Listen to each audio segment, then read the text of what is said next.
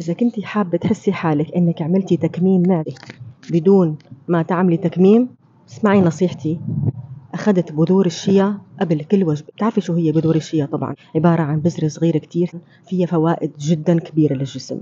هحكي لك إياها بآخر الفيديو. آه، استفدت منها إني كنت آخذ منها قبل كل وجبة. كيف؟ بتدوب بالمي. لما بتحطيها بالمي بتتحول لجل. بتنفش. لما بتاكليها قبل الأكل بعشر دقائق بتنفش بالمعدة. أنا باخذها مع كاسه كبيرة مي مع ملعقة خمسة ميلي قبل كل وجبة. ثلاث وجبات الأساسية. بتشبعني بتحسسني بالامتلاء كأني عاملة بالون المعدة. رائعة رائعة أكثر من رائعة. بتحسسني بالشبع وخلصتني من شعور الشراهة. مو بس إنه انت بتحسي بالامتلاء في من فوائدها أصلا هي هي فيها دهون صحية اوميجا 3 بتشبع. في الياف عالية كتير بتساعد على التخلص من الإمساك وبتساعدك على إنه بتنزل لك مقاومة الإنسولين وبتنزل السكر تدريجيا بطريقة معتدلة بخليكي إنه انت ما تجوعي كتير بين الوجبات.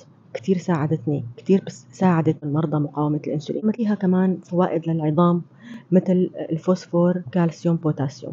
منجم كبير رائع من الفوائد. ابدا ما لها سيئة ما لها طعم ولا لها ريحة ابدا.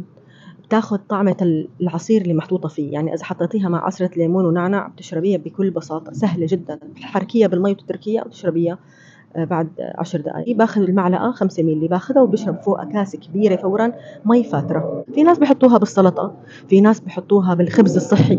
ناس بحطوها بالكيكات الصحية مع الجيلاتين. لما تحطي انت الجيليه تحطي فيه الفواكه بحطوا معها بذور الشيا الرائعة جربيها وادعي لي تجارب مع شذا. اليوم كانت تجربتي مع بذور الشيا. لا تنسي تعملي لي like كتبي لي رأيك بفيديوهاتي واكتبي لي إذا عندك أي اقتراح. بشوفك بفيديو جديد. سلام.